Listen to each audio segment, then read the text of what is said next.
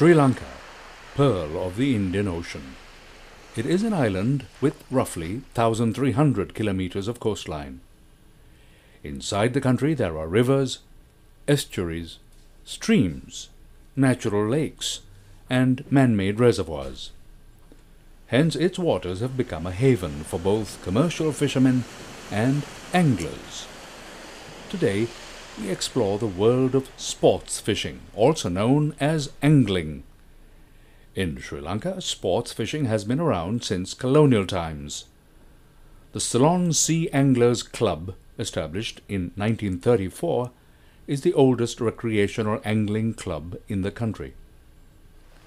Although at a glance there seems to be no difference between traditional fishing and angling, in reality both have different purposes and methods.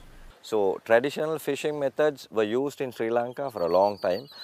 Things like netting, uh, in boating and also like trap methods and uh, if you go back in time I think even harpooning.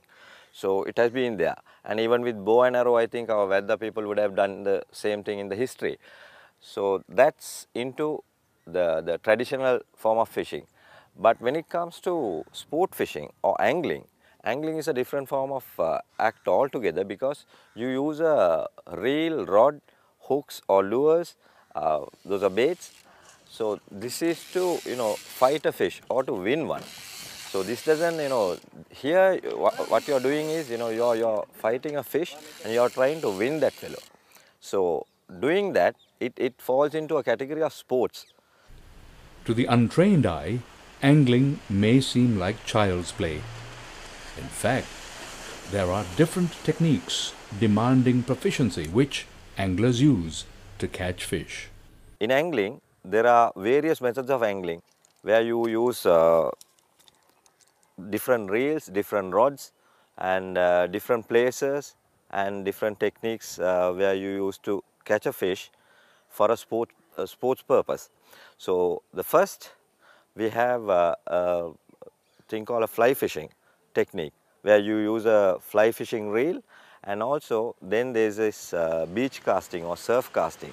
Surf casting and beach casting you have different reels. You have overhead uh, casters which I was using here in the estuary and there are spinners and uh, then it goes into another section called trolling.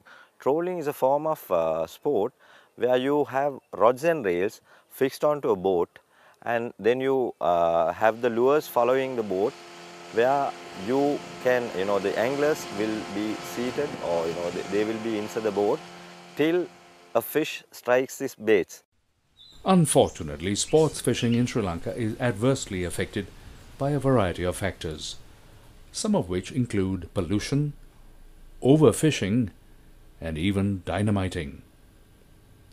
But angling is a universal sport, and Sri Lanka has become a hotspot for tourists who want to fish in exotic locations. Hence, angling is more than a personal hobby.